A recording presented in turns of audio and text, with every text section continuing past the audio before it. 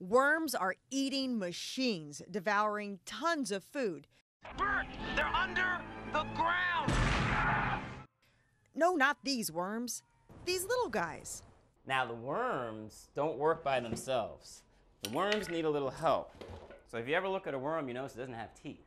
In the middle of a city, in a recycle room with a garden tool, the compost guy is busy making a positive impact on the environment. You see, the scraps we toss out impact the earth in a bad way.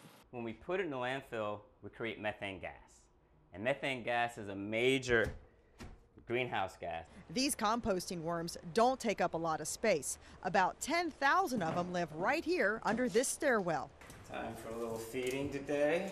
I've been composting worm with worms in my unit for the last two years. So how about we do it in the building itself and everyone can contribute? The bin really isn't that big. Check it out. So it's two feet by four feet.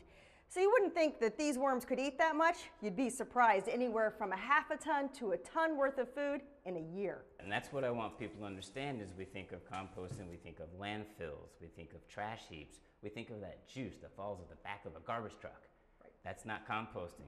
You want to know, does it smell, right? So when you take the time to actually put your nose down into this bin and you smell it, then you realize, wow, this smells wonderful. Think earthy, wooded forest smell, like what the forest in Return of the Jedi might smell like. Anyway, I digress. Residents who participate in this compost program feel like they're doing their small part in the big city they call home. You can compost where you live. You can do it outside your window, you can do it in your building. So what I want to see is that we scale this, we replicate this throughout the city. A rooftop garden could really benefit from the natural fertilizers the worms produce. Say it's a radish that's grown, it'll be four times the size when you grow it with castings versus just your chemical-based fertilizer. And the nutrient density goes up anywhere from twice as much to 17 times as much when you grow items with worm castings. What advice do you have to someone who wants to get started?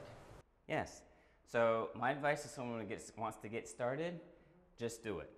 You'll learn a lot of lessons along the way, but it's something you can do.